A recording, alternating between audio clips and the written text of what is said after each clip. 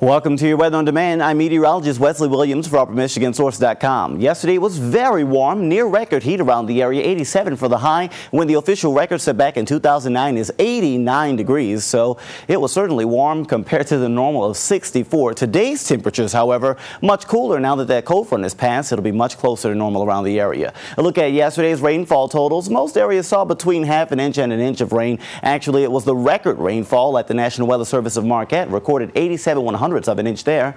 However, we're still below normal for this time of the season and this time of the month, so we're still looking to get more rain in our forecast. And the good news is that there is some later on this week. North winds right now keeping things fairly cool compared to yesterday across the area. Here's that cold front across much of the eastern half of the UP.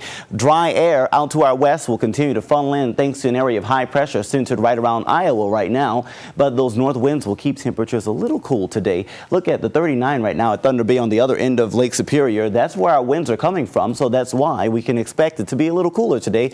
And those winds could get breezy at times, but it'll at least be dry and sunny. Then tomorrow looks like things a little cloudier because a low pressure system out to our west will start to enter nose into the upper Midwest, possibly bringing some clouds along with it. One thing for sure we'll see is an increase in southerly winds, which means the beginning of a warming trend. So plenty of sunshine during the day today. Skies will cl stay clear overnight, which could mean it gets a little chilly and then tomorrow, a little more clouds in the area.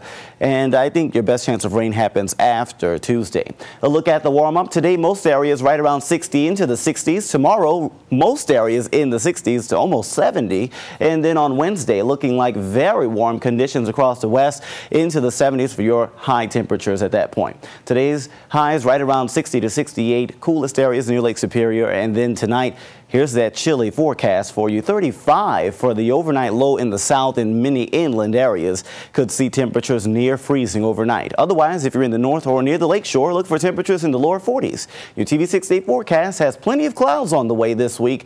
I think your best chance of rain happens around Friday after the Thursday warm up into the 70s.